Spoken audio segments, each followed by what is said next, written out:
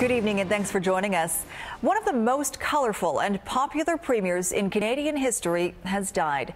Ralph Klein's family and close friends were by his bedside when he passed away today in Calgary. He was 70 years old.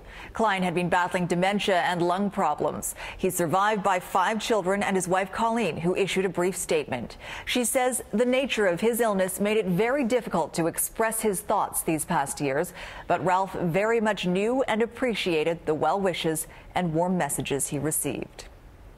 Reaction to Klein's death is pouring in, and we'll have more on that in a moment. But we begin tonight with a look at the man who became King Ralph. Our Francis Silvaggio reports. This was one of the last times Ralph Klein was seen in public. Chocolate or vanilla? Mm. Barely able to speak, the shell of his former self quietly attended the dedication of a Calgary park named in his honor in June of 2011. This was a high school dropout uh, who became premier of the province and, and governed for a very long time. Ladies and gentlemen, this is a dream to me. I didn't think it would happen. The former television reporter's political career began in surprising fashion, virtually coming out of nowhere to win Calgary's race for mayor in 1980. And when I'm betting a horse, I always look at a good, strong back runner. He was a blue-collar mayor who shared drinks at his favorite bar and said what was on his mind. He famously blamed Calgary's soaring crime rate on eastern creeps and bums. The comment raised eyebrows, but also his popularity. Shortly after bringing the Olympics to Calgary in 1988, the three-term mayor resigned and joined the provincial Tories. As Environment Minister, Klein publicly gave the middle finger to environmental protesters. And two years later, his party gave him the thumbs up as their leader. He was seen as a man of the people and that he could get away with that because, you know, uh, he was one of us.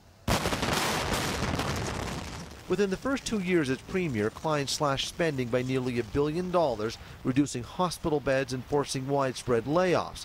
The cuts caused anger across the province. The day that uh, we've been working toward for. But when Klein announced a balanced budget two years earlier than expected, voters seemed willing to forgive. Welcome to uh, Ralph's world. Klein led the Tories to four straight majority governments, including one after he vowed to stop drinking after he threw money at a homeless man and told him to get a job. I admit that I uh, drink too much. Eventually, support within his own party began to wane, forcing the charismatic leader to step aside in 2006. Obviously, uh, I was uh, very disappointed. The Ralph Klein Center. Illness plagued Klein's post-political life. Years of drinking and smoking developed into emphysema, and a rare form of dementia silenced the man known as much for what he said as what he did.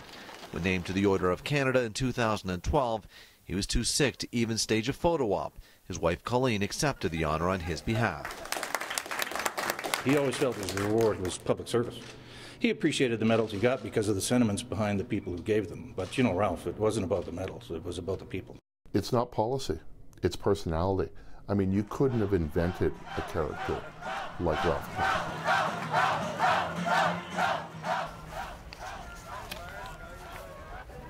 And our Francis Silvaggio joins us now from Calgary with more on this. Francis, reaction has been coming in from across the country. What are you hearing?